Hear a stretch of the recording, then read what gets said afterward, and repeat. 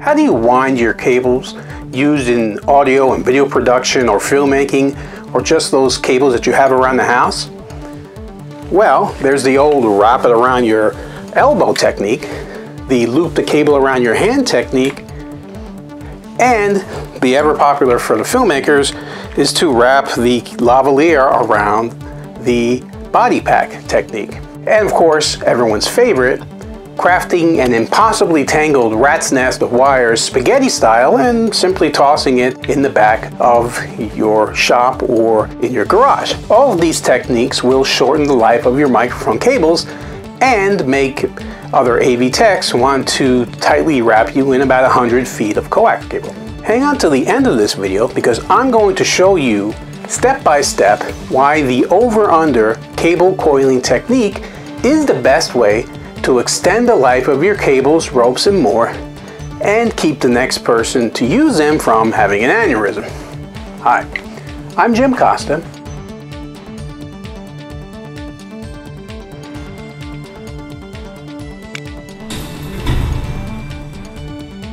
I'm a videography, photography, and technology guru, but you can call me a dadographer.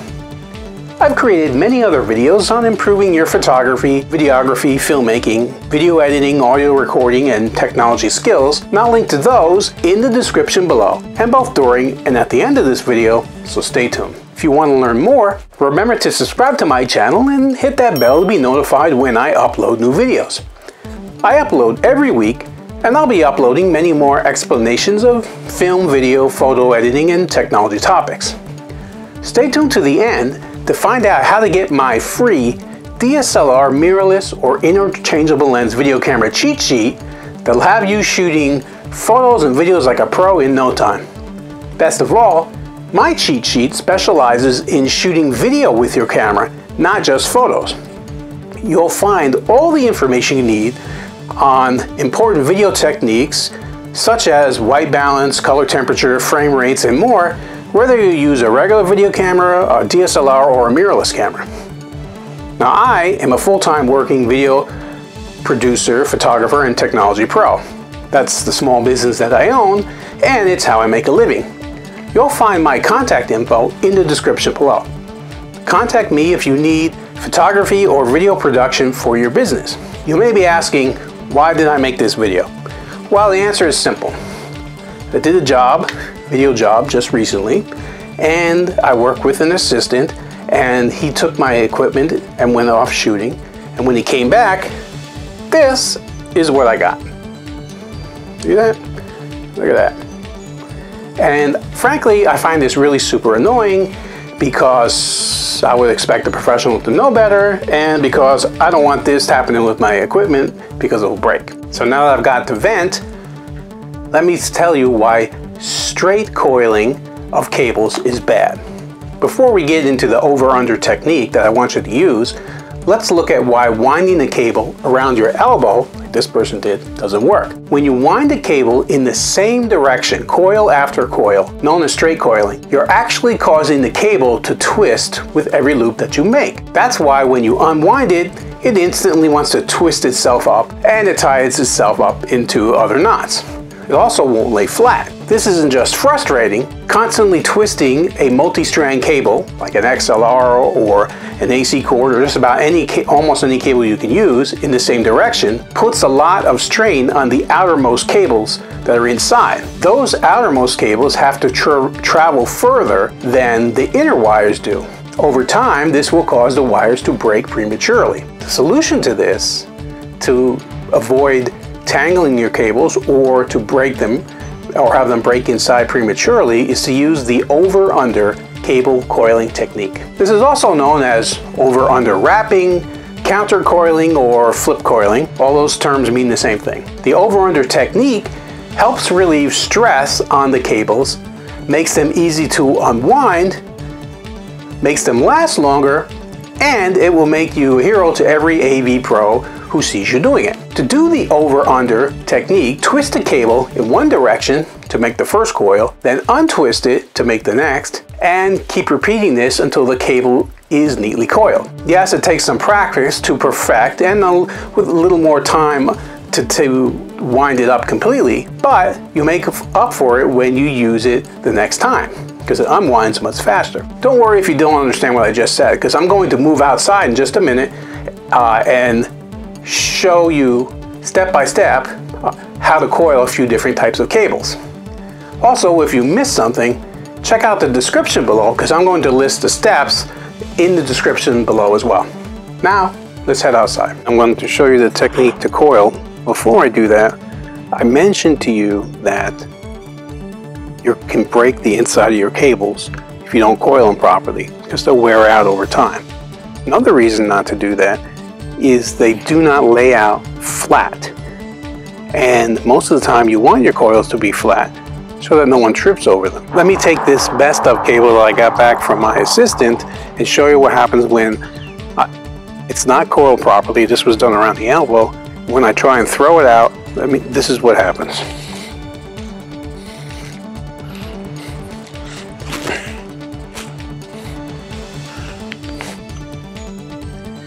Notice that it would not go out straight because it's all tangled in knots. So part of it did, a few feet did here, but most of it is still in a tangled mess that I have to fix. So that was a AC cord, an electrical cord. This is an XLR cable, which is basically a mic cord, and it is properly wrapped in the over and under technique. So now watch what happens with this one that I personally pro properly wrapped. Watch how it shoots out, nice and flat when I throw it.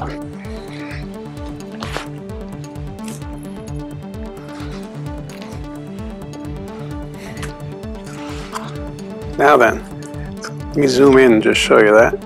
Notice how it's relatively flat and it's nice and straight all the way out. 25 foot cable went all the way straight.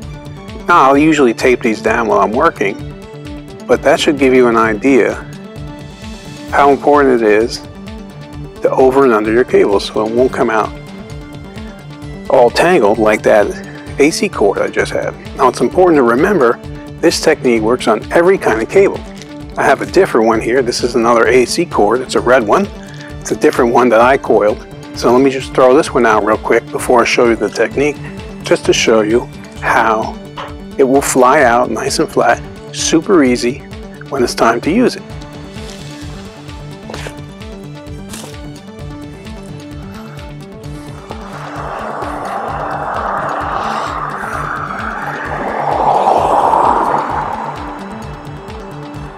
As you can see, it went all the way out. Now it's kind of cold out here today. I'm setting up my Christmas lights, so it's a little bit, you know, it's not perfectly flat, but that's because the cables are super cold. But you can see how it goes. So let me zoom in and show you the technique, how to do it very simply. You start with, with whatever end you want to be on the inside. In this case, AC cord, I'm going to use the female end, normally because you plug it in to an outlet, so I'm going to want to have the male end where I can get to it. I'm going to hold it with my left hand and make a loop over with my right. Then you flip underneath. Come like this and flip. This is the under part because my hand is under this loop. Then the next loop is over. See, my hand is over the cable. Then the next loop, my hand will be under the cable. And try to keep the coils roughly the same size. Then you go over, then under, over, then under. Remember my hand is the over under is my hand. Each loop over, this loop under, over, under, over, and finally we'll do under. Now the one mistake you don't want to do is with the end here, you don't want to wrap it around like this. Because this, when you wrap it around the cable and connect it to the other end, you'll go ahead and you'll end up breaking the connections right here where they meet. Right here. So you don't want to do that. This cable, I have to get some Velcro. It's a new one. I just bought it for my Christmas lights. You have to get a cable tie that, or a string that wraps around and holds it just like this. And it'll hold it uh, permanently when you're storing it and not actually using it. Let me try the same technique on the XLR cable I just showed you. So here's an XLR cable, it's a mic cable. So I'll start the same way. I'm going to start coiling with the male end because the female end is the one that I use to plug into a microphone. So your first loop is over, then under my hand, just like that. Again, keep the loops roughly the same size.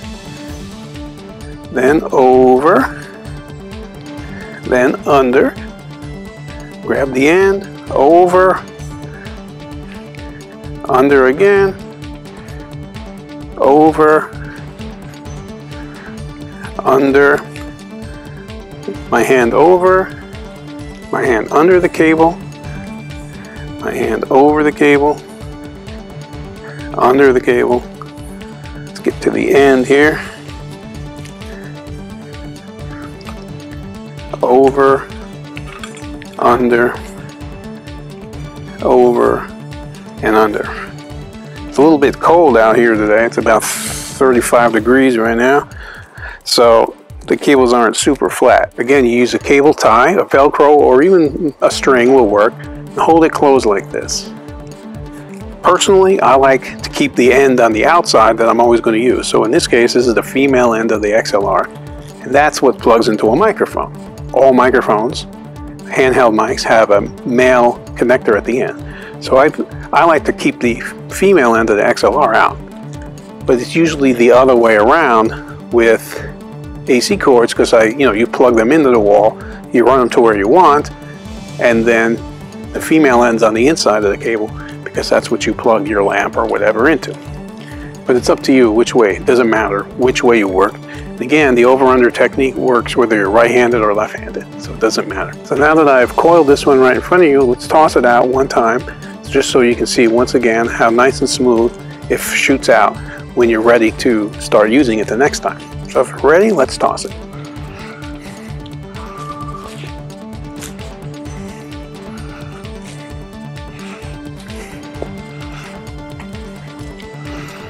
And there you go.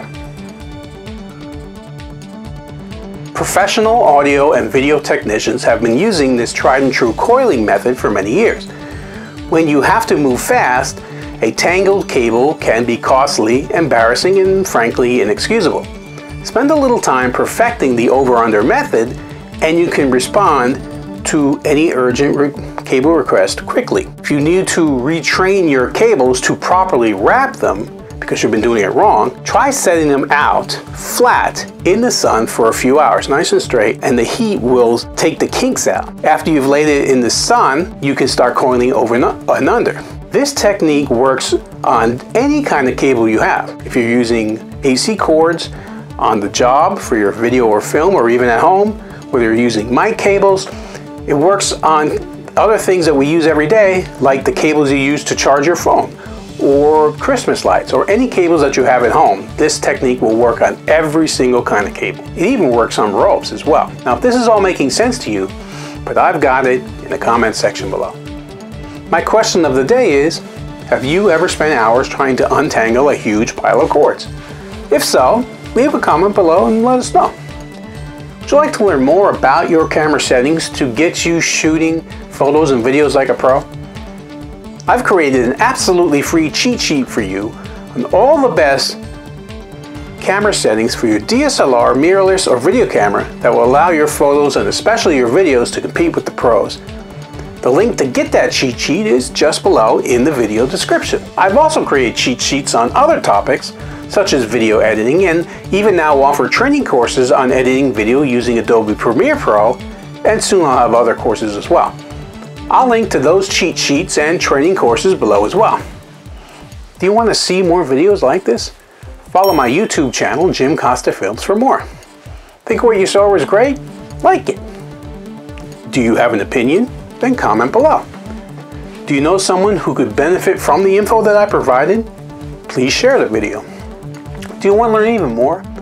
If so, then connect with Jim Costa Films on social media and online on Facebook, Instagram, Twitter, YouTube, and the web. I currently have over 4,300 videos on my YouTube channel, Jim Costa Films, so feel free to check out many of my other videos for great tips and suggestions. Now, If you follow me for a while, you may know that I have a community of photographers, videographers, and filmmakers just like you on Facebook where I share pro tips and tricks. It's called Video Producers and Content Creators.